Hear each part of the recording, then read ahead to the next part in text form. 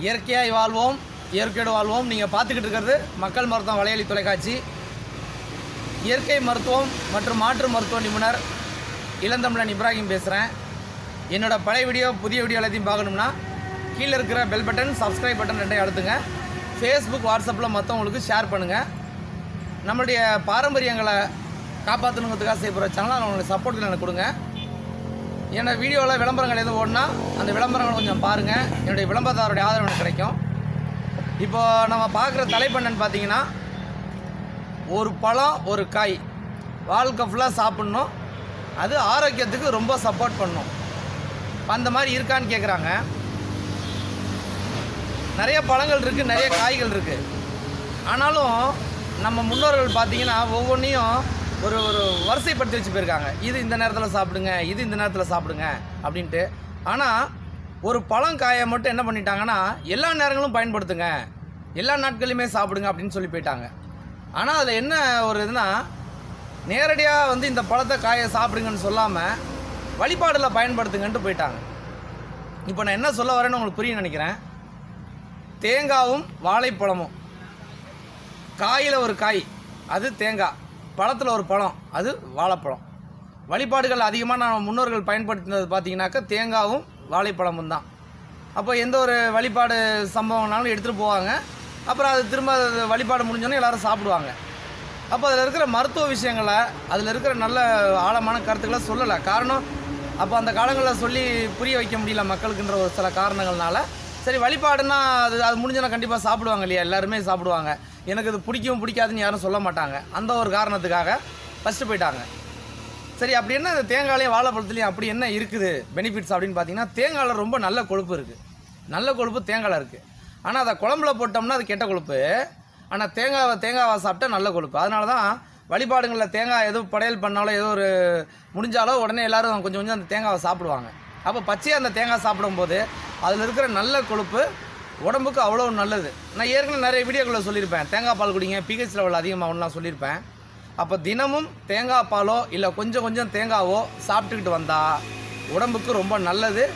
உங்களுடைய ஆரோக்கியம் அப்படியே ஒரு கண்ட்ரோல் லெவல்லே இருக்கும். கீழே இறங்காது. அட்லீஸ்ட் மேலே பகுதியிலேயே ஒரு கண்ட்ரோலில் இருக்கும். இது தேங்காய். வாழைப்பழம் அதே மாதிரி. வாழைப்பழம் பார்த்தீங்கன்னா பூவம்பழம் ரஸ்தாளி பழம் கற்பூரவள்ளிம்பாங்க இந்த மாதிரி பழங்கள் தான். பெரிய பழங்களாக இருக்கும் இவ்வளோ பெருசெல்லாம். அந்த மாதிரி பழங்களில் சின்ன சின்ன பழமாக இருக்கும். அது நம்ம மண்ணோட பாரம்பரிய பழங்கள் அது எல்லாமே. அதுவும் தஞ்சாவூர் மாவட்டங்களில் பார்த்தீங்கன்னா தஞ்சாவூர் திருச்சி மாவட்டங்களில் அதிகமாக விளையிறது பூவமும் பூவும் தான். அதுதான் தமிழ்நாட்டுடைய ஒரு பாரம்பரிய பழமும் கூட. இன்னும் இருக்குது சில பழங்கள்லாம். ஆனால் இது ரெண்டும் ரொம்ப ஆரோக்கியம் கொடுக்குறது. அதனால தான் வழிபாடுகளில் நம்ம முன்னோர்கள் வந்து சின்ன பழமும் தேங்காய் வச்சுருப்பாங்க. ஆனால் இப்போ எப்படி ஆகி போயிருச்சு அப்படின்னு பார்த்தீங்கன்னா வாழைப்பழம் சின்ன வாழைப்பழம் போனால் யாரும் ஏற்றுக்கிறதில்ல ஒரு ஒரு விழாக்கள்லேயே கூட இல்லை ஒரு திருமண நிகழ்ச்சிகளில் கூட வாழைப்பழம்லாம் வச்சா என்னங்க ஒரு பெரிய பழமாக வைங்க? ஏன் சின்னதை வைக்க மாட்டேங்கிறீங்க சின்னதை வைக்கிறீங்க.